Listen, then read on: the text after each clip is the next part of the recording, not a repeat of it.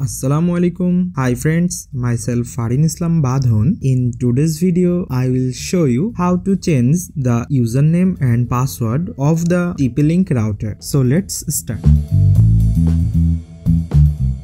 First of all, we have to open any browser and type 19.168.0.1 and search most routers have username and password admin admin but you can check your router box and user manual to confirm it.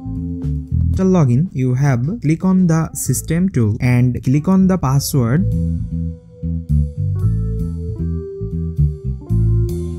Then type your old username and old password like admin admin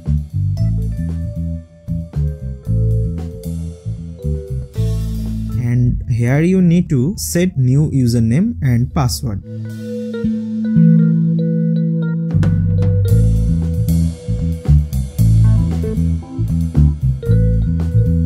Re-enter in confirm password. You can take a screenshot of in case you forget it. After seeing everything correctly, we need to click on the save button and as soon as we click on the save button, the username and password of our router will be changed. I hope you have understood the video completely. If the video is of any benefit to you, then you can subscribe my YouTube channel and like comment. Thank you very much for watching the entire video. 定。